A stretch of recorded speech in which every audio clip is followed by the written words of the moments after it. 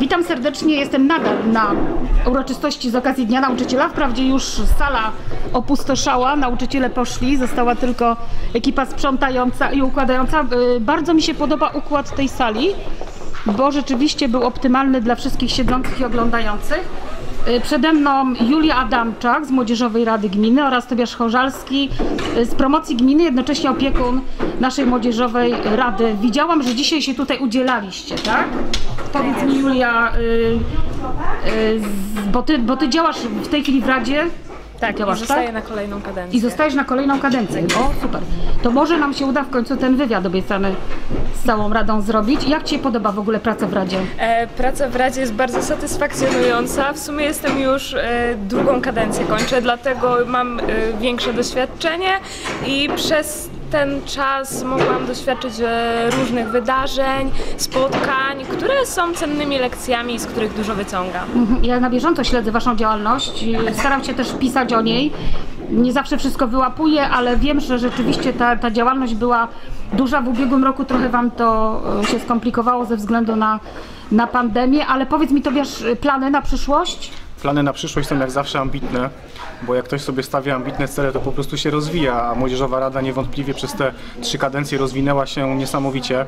E, No myślę, że warto powiedzieć o tym, że Młodzieżowa Rada Gminy Wronki jest jedną z nielicznych w Polsce, która nawiązała międzynarodową współpracę z inną Młodzieżową Radą.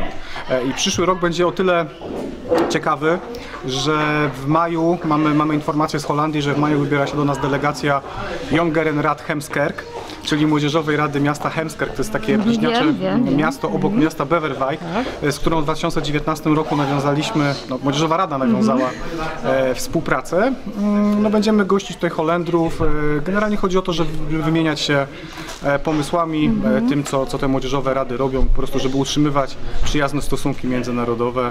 Byłam z harcerzami w Beverwijk, byliśmy właśnie w Hemskerk również, także mniej więcej wiem jak te działalność rady, tam troszeczkę inaczej te w ogóle rady działają. Y, Natomiast powiedzcie mi takie, takie, y, y, takie najbliższe plany. W najbliższym czasie, powiedzmy do końca roku, co jeszcze planujecie? Najbliższy, w, w, najbliższy, w najbliższym czasie Młodzieżowa Rada musi wybrać swoje władze, bo 30 września zgodnie ze statutem e, zakończyła się trzecia kadencja e, i zakończyły się wybory teraz w, w szkołach. Mamy już e, pełną listę mm, nowych radnych juniorów. E, W przyszłym tygodniu zorganizujemy pierwsze spotkanie tej nowej kadencji, gdzie zostaną wybrane władze tej, tej, tej Młodzieżowej Rady, no i wtedy będziemy działać dalej. Myślę, że Julia chętnie opowie o szkoleniu, które chcemy zorganizować. Dobra, to Właśnie w planach jest szkolenie, y, które sama mam przyjemność w sumie organizować a i także załatwiać.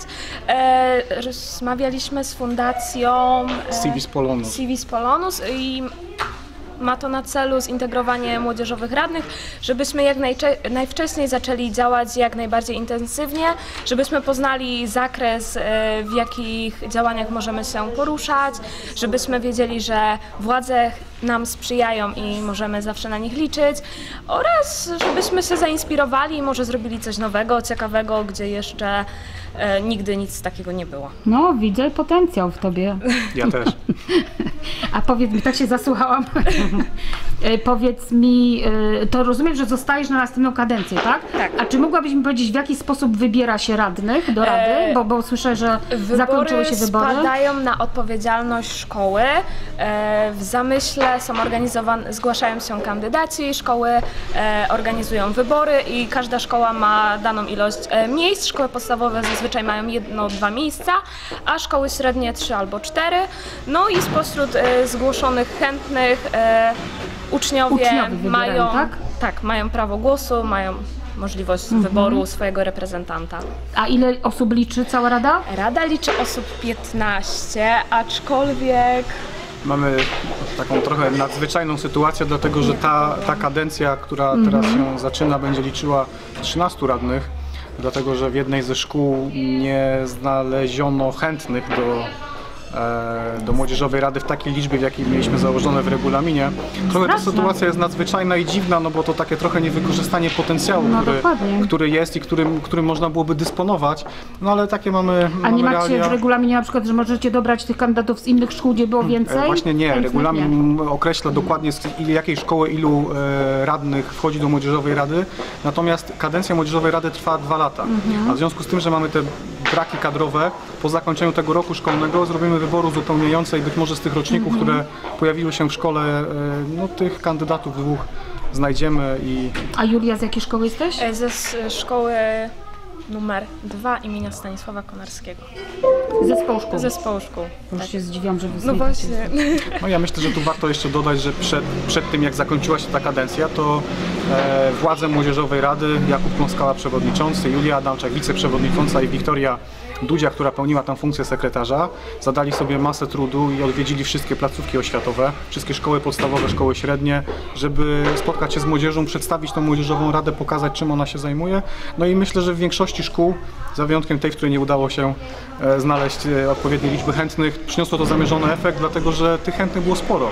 W No szkołach ja podstawowych jest dużo śledziłam to chętnych. rzeczywiście i dlatego jestem zdziwiona, że była szkoła bez chętnych. No ale to już, to już trudno. Bardzo mi się podoba, y, że, że inicjujecie różne rzeczy. Moim ulubionym parkiem we Wronkach jest park na Zamościu, tak? To chyba wszyscy wiedzą. Kiedyś wiceburmistrz Dorna nawet na spacer po parku mnie zaprosił, żeby udowodnić, jaki, on, jaki to on jest piękny. Ja myślę, że ten I park teraz słyszę, że tutaj jest jakiś pomysł na ten tak, park, co mnie e, bardzo Braliśmy cieszy. udział w konsultacjach odnośnie przebudowy tego parku. E, mogliśmy swoje trzy grosze dorzucić.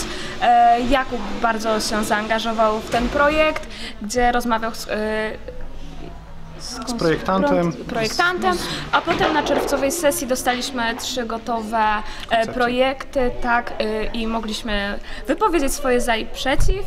E, ma powstać między innymi park e, i wiele innych nowoczesnych rzeczy. Generalnie to miejsce z założenia ma być dla młodzieży. No w związku dobrze. z tym, że ma być dla młodzieży, powstaje tam mnóstwo rzeczy, które znam tylko z nazwy. E, między innymi coś takiego, co nazywa się pump track.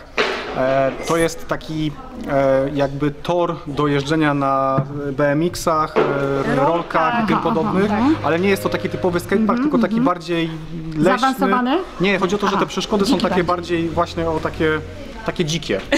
To jest jed, jed, jedna kwestia. Druga kwestia dla młodszych dzieci ma być tam miasteczko rowerowe, bo generalnie to ma być takie genialny związane z, z ruchem drogowym. E, No, Tym bardziej, oprócz że tego- mamy mistrzów Polski od wielu, wielu lat. ale oprócz, e, oprócz tego ma też tam powstać wybieg dla psów. Taki z prawdziwego pomysł. I tam wszystko się zmieści?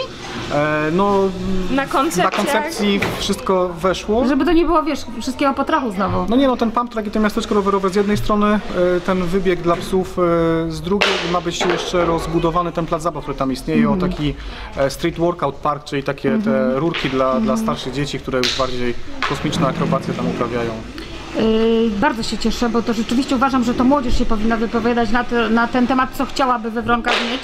Także cieszę się. Yy, brakuje mi jeszcze waszego uczestnictwa w sesjach, takich sesjach E, Rady Miasta, tym bardziej, że przed są. Dlatego byliśmy zapraszani, przedstawialiśmy na przykład w momencie, kiedy stworzyliśmy ankiety, z którymi docieraliśmy do młodzieży, do każdej osoby bezpośrednio.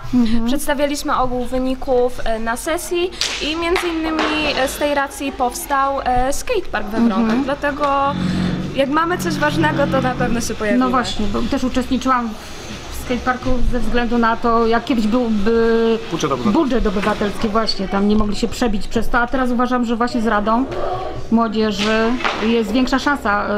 Yy, Ja oczywiście z Wronickim Bazarem jestem do Waszej dyspozycji. Jeśli trzeba coś ogłosić, czym się chcecie pochwalić, co, co się Wam udało załatwić, to bardzo proszę chwalcie się, bo nikt Was nie pochwali, jak się sami nie pochwalicie, tak?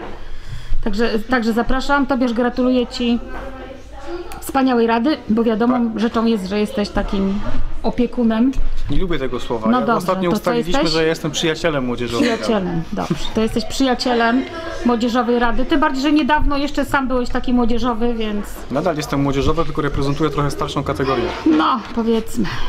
W każdym razie dziękuję bardzo. Dziękujemy. Do widzenia. Do widzenia.